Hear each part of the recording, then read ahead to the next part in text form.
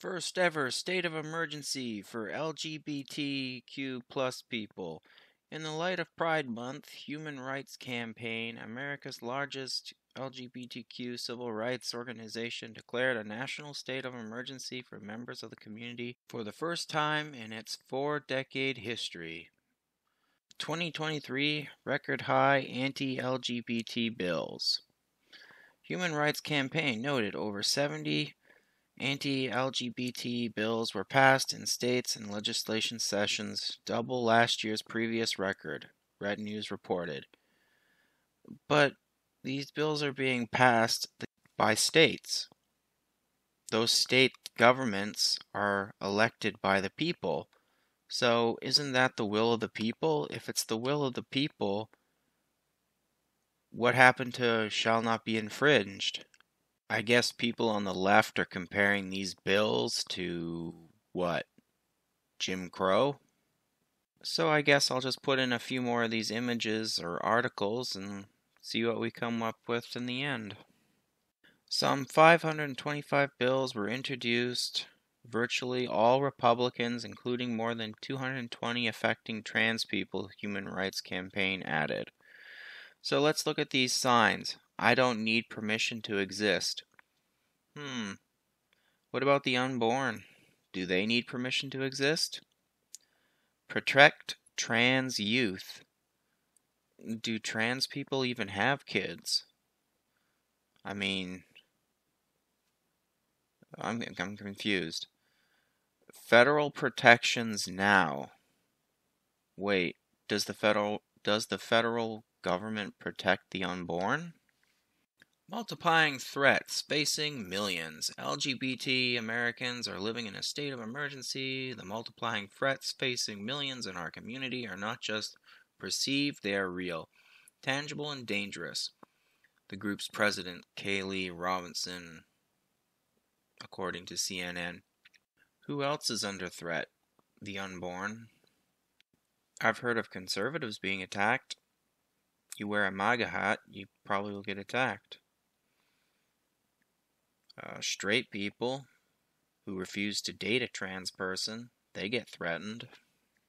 Anti LGBT rhetoric is spreading in the U.S. Researchers and LGBT advocates in the U.S. have tracked an increase in hate speech in social media and threats of violence, which they warn extremist groups may see as a call to action. Well, social media threats. Now, in this article, when it says social media threats of violence, are they including or excluding trans people who are making threats? Just a little curious. Recently, members of two far right groups, the Patriot Front and the Proud Boys, gathered outside of a Unitarian church in Columbus, Ohio, leading to the cancellation of a drag queen story hour. Several media reported. Okay, so first, one of these um, right wing groups I heard was a bunch of glowies?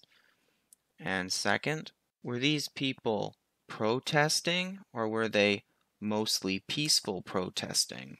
Because, you know, that's a very important uh, distinction there. War of Perversion. Heather Scott, an Idaho Republican lawmaker, told an audience that drag queens and other LGBT plus whatever supporters are waging a war of perversion against our children. When it comes right down to it, how does the LGBT community and trans community grow? Well, they have to convert people. And children's minds are like sponges, they absorb information. And they are easier to uh, manipulate. Ron DeSantis and his supporters have labeled as groomer anyone who believes children can learn LGBT people exist, arguing that simply talking about gay relations to a child, you are sexualizing that child. In my opinion, how old is the child? If the child is like a toddler or like five years old, why are you even talking about sex relations with them? They should be a child. They shouldn't be worried about that kind of stuff. And of course, Orange Man bad. Jennifer McCoy, a professor of political science at Georgia State University, said that when people with influence, like political figures, sports or entertainment stars, religious leaders, or media, whatever, engage in rhetoric against a specific group, supporters can interpret it as a call for action. Uh, yeah, the left does that too. And the right. This is probably the only article that I actually agree with. Anti LGBT legislation. The slate of legislation includes measures that would restrict LGBT issues in school curriculums, permit religious exemptions to discriminate against LGBT people, and limit trans people's ability to play sports, use bathrooms eh, that correspond with their gender. So, the last two bits play sports. You mean biological men can say they're women and compete with biological women, and using bathrooms. So a boy can use a girl's bathroom? Mm, no thanks. And I guess the gender affirming healthcare is the whole trans surgery stuff. Um, if you're an adult and you want to do that, go for it. But if a kid, no, kids don't know what's going on. They shouldn't be able to get that. LGBT issues in school.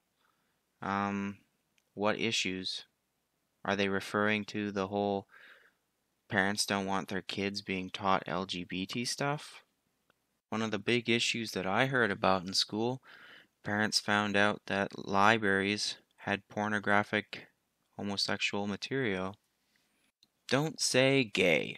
One of the most famous of the anti LGBT laws is the piece of Florida legislation banning instruction on sexual orientation or gender identity in schools between kindergarten and third grade, the so called Don't Say Gay.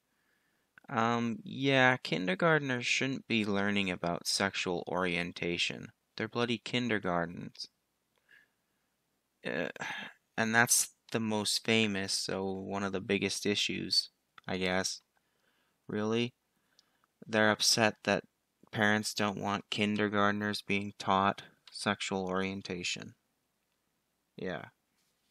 Example The girl in this picture with the little rainbow wallpaper, she probably doesn't even understand what it means. She probably just thinks it's a cute little rainbow. Texas Republicans against trans kids and their parents. In February 22, Texas Republican Greg Abbott and Ken Paxton not only banned gender affirming medical care for trans youth, but reframed their parents as child abusers. Taking your kid in to get their genitals mutilated? Yeah, I would say they're child abusers. Because again, children don't know what's going on. Paxton signed a legal opinion that parents or doctors who helped children transition were abusers who should be investigated by law. Yeah, they should be. So, my takeaway from all this um, gender identity and gender affirming healthcare are the two biggest issues. I don't think children should be able to get their genitals mutilated. Well, that's it for my thoughts on the matter. I've probably said this before, but I feel bad for the kids when their so called parents take them to get their genitals cut. Well, take care out there in clown world.